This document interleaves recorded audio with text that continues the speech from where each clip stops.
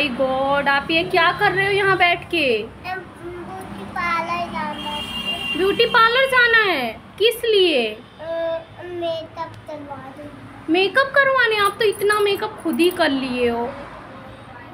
कितने गंदे लग रहे हो आप। अच्छे लग रहे हैं। अच्छा लग रहे हो देखूँ।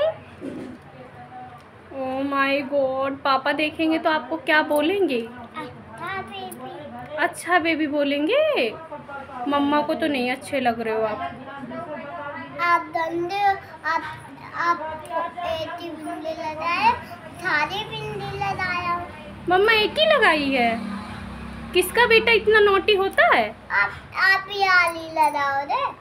पहले बताओ किसका बेटा इतना नोटी है?